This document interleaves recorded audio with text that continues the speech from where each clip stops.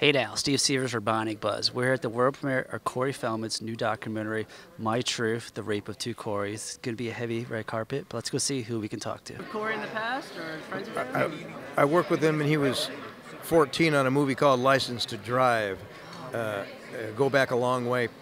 I heard they were going to do a sequel to that. They talk about that in this movie now before Haim passed away. Yeah, I mean that that would have been that would have been interesting because that, that was a bit of a breakout film for both Corey Feldman and Corey Haim. Yeah. But I, I, I recently did a, a, documentary on Ronda Rousey for Lionsgate, and it's a very empowering film about the triumph of a human spirit. And I think, um, I think what, what people go through, or, or men or women, in, in regards to this particular doc- documentary or Open Secret, which outed a lot of pe- pedophiles that were, or one in particular that was working at SAG-AFTRA, that we need to really address these issues and make sure to protect people, and they can't be shoved under the rug like they have been in the past. And ab- above all, you have to gather the facts and use the rule of law, but there needs to be uh, people not afraid to say it because we know it's a status quo. Yeah. And they need to raise the level of ethics in Hollywood around the planet because the age of technology, uh, the, the level of technology is way up here and the ethics is in the toilet. So you got to have a little balance in order to move forward and uh, take care of each other as brothers and sisters. I love that. Well, it, it's definitely hard to talk about because I know a lot of people have been affected by this, but they didn't want other people to know about it. I think that's what's great about this is encouraging people. It's okay to talk, you know. I mean, look, I, I, I applaud Rosanna Arquette, Caitlin Delaney, Jessica Barth, uh, Pamela Guest, and all the people that have held this in for such a long time because you, you shouldn't have to go through that, whether you're a male, uh, a young man in Hollywood, or a young woman in Hollywood. No one should have to do that. And obviously, the, the people that are preyed upon, a lot of them don't have proper guardianship, and some do.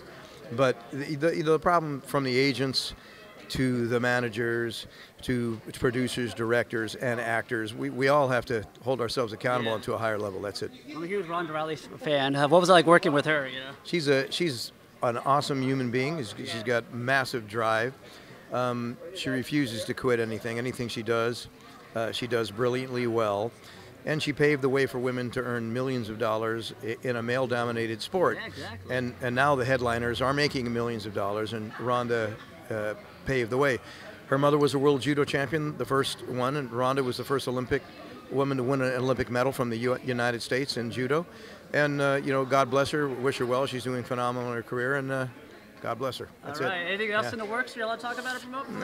I'm doing a I'm doing a documentary on the uh, ecosystem in the Amazon rainforest. Oh yeah. Yeah, um, subject we didn't get into. which the ecology is a, or or Mother Earth is a passion of mine, and it's it's really about the ecosystem, because if plants, animals, birds, insects, and mammals are getting extincted at, at alarming rates, Yeah. according to science, and it and it's out of balance. Uh, then the world is out of balance, and people need to pay attention because Mother Earth gives all of us all of our resources that we need to live. Mother Earth sustains all life on this planet, all sentient beings. You wouldn't have a car, food, water, shelter, granite, Yeah. computers, nothing. So we have to really turn our, our, our consciousness to on the uh, on the inside and take a look inside all of our souls individually and understand that we're all connected.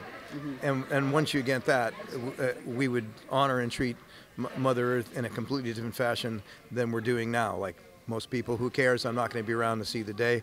That's irresponsible for the future generations. That's what Yeah, I Greta. got kids yeah, and eventually yeah. grandkids, hopefully. You know? But that's what Greta Thunberg talks about. I mean, it's irresponsible for anybody to say, I don't care. yeah.